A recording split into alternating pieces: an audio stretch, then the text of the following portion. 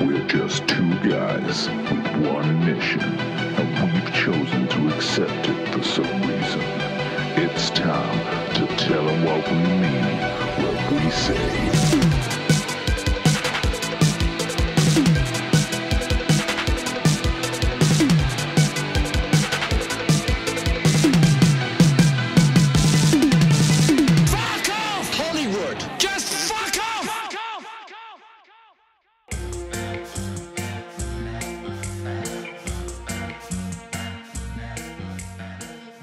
Okay, say that again. Well, that was mental. Yeah, that really was. Hello, welcome to another episode. Hi. We just watched Frozen Screams from 1975, and it was pretty fucking. Fucking mental. Yeah. How do you even Go, explain the plot. Good luck to you. well, on a basic level, it's about this. Some doctors. It's about this group of like scientists who are trying to create Immortality. im- immortal people. Yeah. yes. by creating a kind of race of zombies, but to varying degrees of success. Yes. Sometimes they come out and they're just like Ice cold bitches. vegetables, and sometimes they come out and they're like mannequins. Sometimes they come out then then they're like Psycho killers. psycho killers, but most of the time they they look like stupid sexy Flanders. yeah. This guy who's been working on the project is kidnapped by the group to kind of I guess to get him out of the way. Tom, Yeah. they just explained that right at the end. Oh, So he was he was down with the plan, yeah. and then at the last minute didn't want to. So the bit at the start is that it's a fake attack to make Right. it to make it look like, And then he changed his mind. and then he changed his mind at the last minute. right. I wondered what that was in regards to. Yeah. So, this his wife, Tom's wife, thinks that he's dead, and she teams up with her ex lover, Ex lover, who's also a cop. who does some crazy narration. Yeah, who does? Um, well, we'll I guess we'll, get to, we'll get to that. and anyway, they get into the. They try to solve the crime, and the more they solve the crime, the more the this organization sends stupid, sexy Flanders Yes. after them. I That's think, we, I think we can call it a cult. yeah. I mean, that's the that's the That's the gist. that's the gist of what happens in the story. Yeah. But boy, howdy, does it not? Enti- is it not entirely told that way? no. I mean, At this- least for the first 20 minutes, you have zero clue what's I mean, on. it's like And it's edited- edited in like a cut and paste technique, Burroughs style. Yeah, it's it's really super like it's super dreamlike Yeah. and very surreal and the acting throughout the whole movie is like super wooden.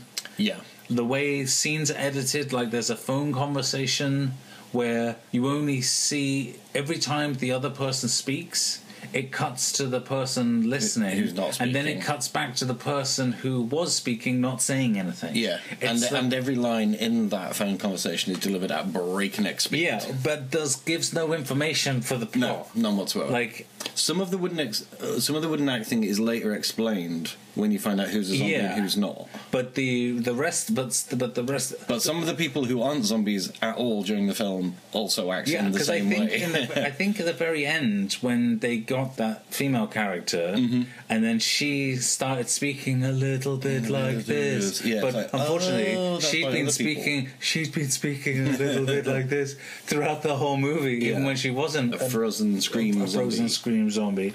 But boy, howdy, this was like a real hot mess of uh, entertainment. yeah, I liked it. Yeah, I'm sorry. I really enjoyed it because it was just so fucking weird and so weirdly acted and so weirdly edited. And the musical stabs and stings and such were just fucking yeah. There was bizarre. some, like there's lots. There's that one guitar like wow. Yeah, so the cop narrates the whole mo- movie. Yeah, sometimes clearly other lines of dialogue. Yeah, like there'll be two people having a conversation, and they'll then the, the voiceover will come in, and but the people underneath are still having their conversation They're still having their conversation. It's really quite amazing.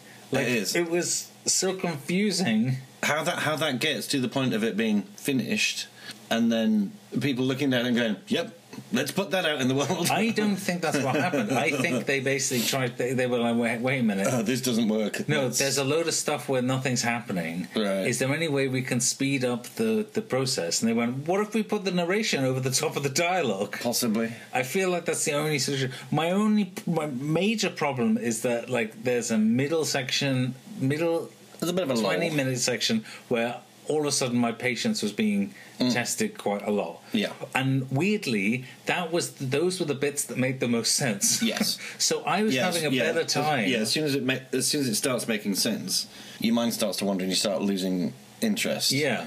But then it snaps straight back into nope. This is just Yes, weird. and, uh, yeah, but like the last yeah fifteen minutes or so, like I was like, what the what the fuck was going on? Like it Yeah, was, yeah. Uh, when uh, she's trying to kill all the zombies by just like going up to some bit of random machinery and then just twisting all the, all the levers. this will blow everything up. Probably. I don't know what the fuck it does, but She, there's no just gonna start randomly pressing buttons and pulling levers, and like, oh, apparently this, this- destroys the entire laboratory and the zombies. And, and the zombies, well, the sci- evil scientist lady with the bizarre accent basically goes, Yeah. "No, what are you doing? What are you doing? And the Even clear though- answer is she didn't know what she was doing. She was just randomly Yeah. pulling at levers, hoping something would happen. And the other answer to that question is blowing everything up clearly as you're stood in the middle of it. It was. This is like definitely one of the more bizarre. Yeah, I think you. I think, and weirdly, I think you hit it nail on the head right at the start of the film, going like, "This is like a Garth Marenghi episode." Yeah, this it was really. If you really if you watch it with that in mind, it's just like this is fucking brilliant. it was really like it was very very dark place. Yeah. and it would not. I'd be. Should we tweet him? Oh, I don't have tweet. I Do you have I, tweet? I do have tweet, but I'm not tweeting. Do you have tweet? Do you have tweet? Maybe you. Uh, you. Maybe you would like to tweet Matthew. What's his name? Matthew Holness. Yes, Tweet him. and say, "Hey, is there any chance you've seen Frozen Scream? Yeah. Did you base an entire TV show around this movie? Hey.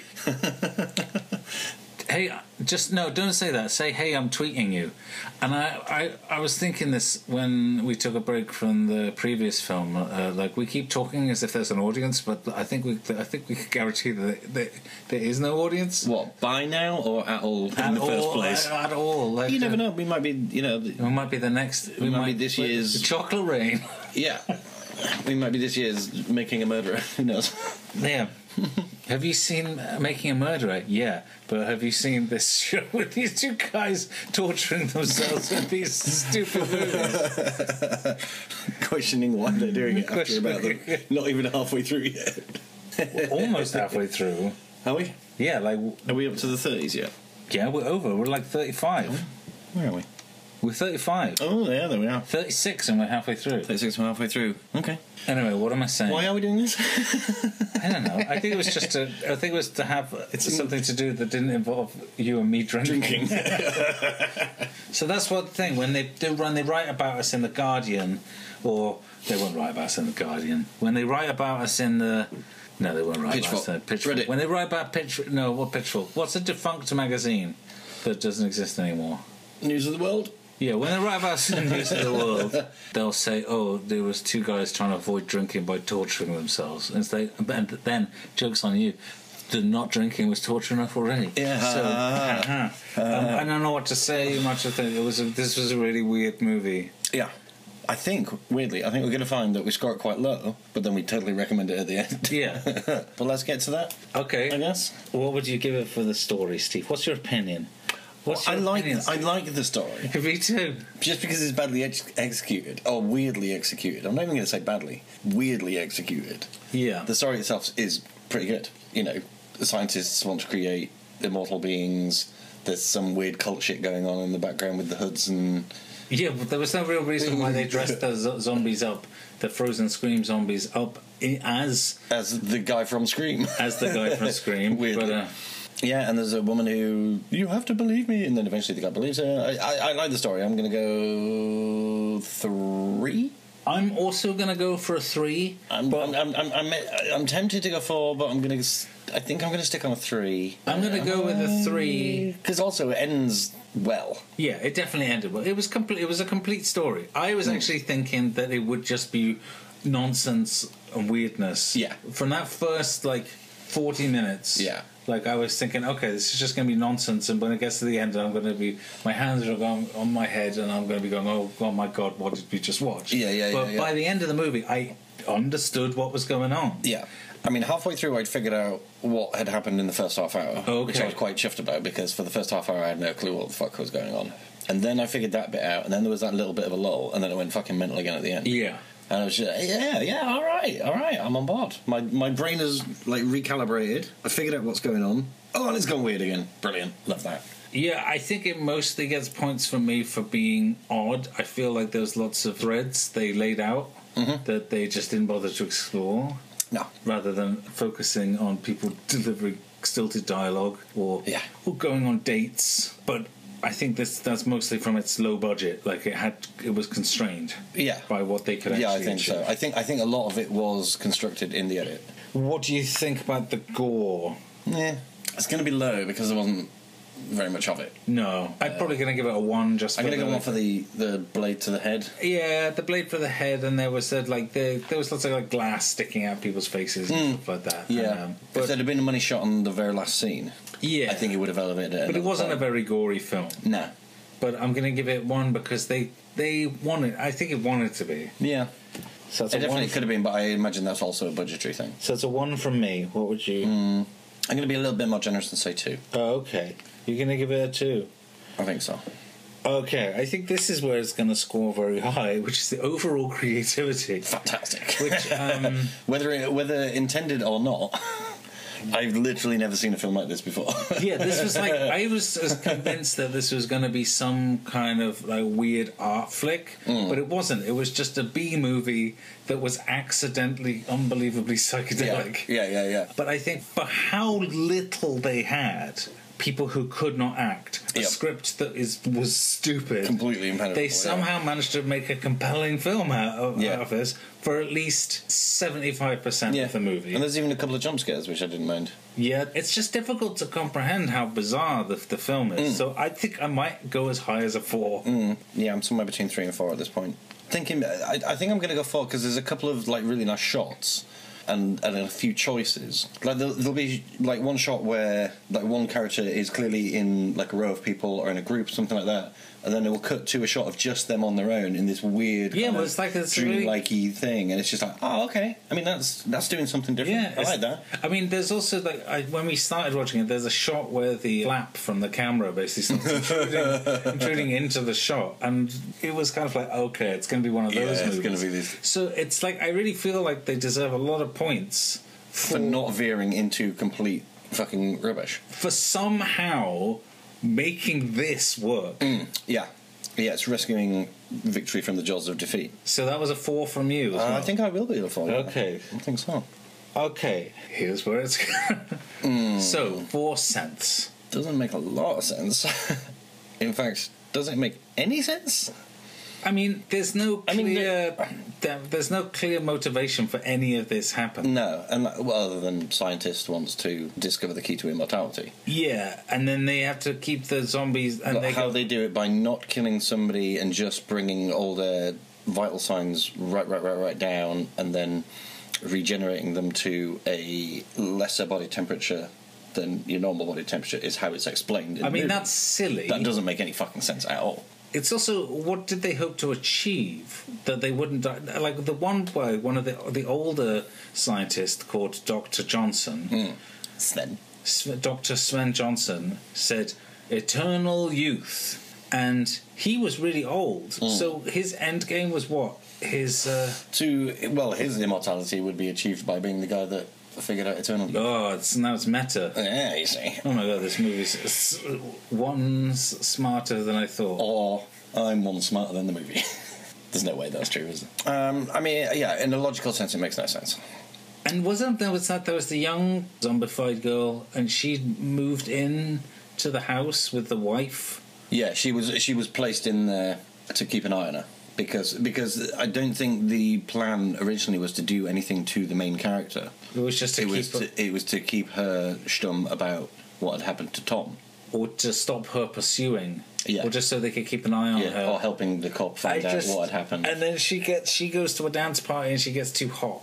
yes, It's pretty ridiculous. Oh, and incredibly ridiculous. And like I say, it took me about half an hour to work out what the first half an hour was. I guess there Was is a, okay. I guess there's a through line Yes. where it sort of holds together with like uh, tape and gum Mm. as a s- as a story in terms of the way the story plays out. Yep. But it loses a lot of points because I'm going. Why is any of this happening? Yeah, yeah, yeah, yeah. Um, who is this for?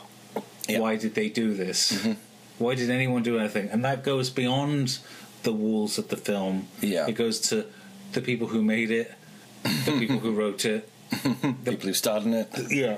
So I, I, I, go. a three. okay, I'm going to go for two. I think I'm going to go three, just down the middle. Down the middle. Within within the construct of the film itself, it kind of makes sense. To watch, it makes no fucking sense whatsoever. and the music. See, now I'm fucking torn on this because whilst there was some good, like I say, like some stabs and stuff like that, like the wow. Yeah, there was some every time you experimental stuff in there, but like I think most of the time I didn't. there's no music as such. I didn't really notice it. Although I there think. was there was Jack around the Shack, Jack Around the which Shack. definitely was not Rock Around the Clock, and I, I think there was a whole lot of shaking going on. a whole lot of shaking going on. There's a whole lot of jumping going on, or something. Like something like that. Yeah, Yeah, but it definitely was not a whole lot of shaking going on, and you'd be a fool and a communist to think so. Well, I've been called worse. yes, you have by me. I'm probably going to give it a two because I liked some of the more kind of weirder experimental bits. Yeah, but yeah. most of the time, I don't think I really noticed it. No, it was more. It was the- more of a noise thing than it was a Yeah. music thing. Well, I would consider that like if as long as it works. Yeah, no noise. I, I noise. I mean, as in the genre noise. Yeah, and that's I, I know what you mean. Plus, I I like the fact that apparently everything on the film, every bit of sound on the film, was recorded directly to vinyl, Yes, and then that was laid over the film. yeah. So oh, you're saying there is it was, crackle and It pops. was hauntology. yeah, there were definite vinyl crackles and pops. That they're unmistakable. So it's a two from me. I think I would also join you on a two, Okay. mostly for the the noise aesthetic of it. I think actually that probably actually scores higher than we thought it would. Just over half. 26, just over half. Wow. Yeah. Okay. That's quite surprising. I thought we would have marked it down a bit more than that before we actually got to the scoring bits. But actually, when you break it down, I suppose. I mean, it was above average of these films that we've watched.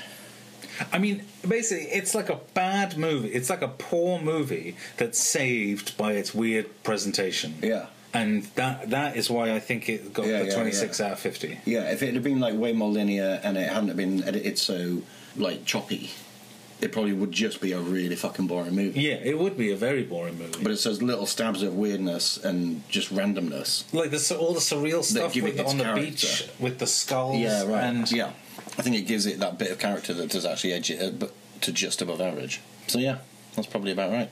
So Tony, would you recommend this? I absolutely would recommend this movie. I think I would as well. if people are into kind of unexpectedly weird things from Mm-hmm. the 70s, then Yodoras- fans. I feel like this is would be too poor for a Jodorowsky fan. Really? But I think if Like a you're, drunk Jodorowsky fan. I think if you're a fan of Garth Marenghi's Dark Place, Yes, you will get an absolute kick out of it. yeah, if you go if you go into it with the right attitude, as long as you go into it not having the attitude of I want to watch a good horror film. Also, I'm not sure this again classifies as a horror really. Yeah, it's a horror movie. It? It's just a shitty one that's just bizarre. Yeah. So yeah, anybody who's into kind of shitty, bizarre films, Yeah, shitty, bizarre films. this, might be one of your favourites. Yes. Maybe you already saw it. Maybe you didn't. Who am I to say? Yeah. If you have, then smash that like button. Yeah. I'm going to go home and smash my like button. Tumbleweed. Cricket. All right. see you next Um, yeah, time. then. Thanks. Bye. Bye.